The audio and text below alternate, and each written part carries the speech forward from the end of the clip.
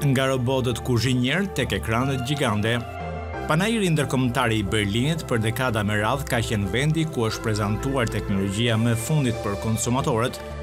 Panairi i ka fillimet në vitin 1924, madje Albert Einsteini mori pjesë në të në vitin 1930.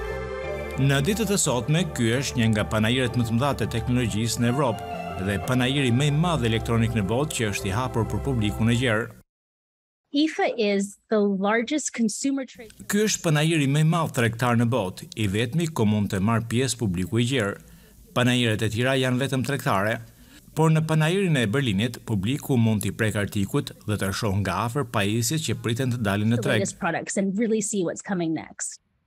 Sikurse shumë veprimtari të tjera, edhe Panairi u ndikua nga pandemia.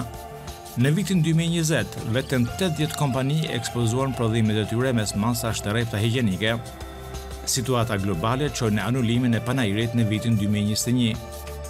Ekspertja e teknologjisë, Nicole Scott, thotë se Panairi i Berlinit po përpiqet të tërheqë kompanitë teknologjike ndërsa një numër i madh i tyre po zgjedhin të anashkalojnë këtë veprimtari. Ka salla të tëra bosh dhe veprimtaria është zvogëluar sepse shumë kompani nuk e vlerësojnë pjesëmarrjen në një panair konsumatorësh si ky. Ekspertja thotë se shumë kompani zgjedhin t'i ekspozojnë prodhimet e tyre në rrugë digjitale, por gjiganti jugkorean Samsung, një nga kompanitë më të mëdha elektronike në botë, do të marrë pjesë në panairin e Berlinit, Samsung konkurron me kompanitë Google dhe Amazon në betejën se kush do të dominojë me pajisjet inteligjente shtëpiake.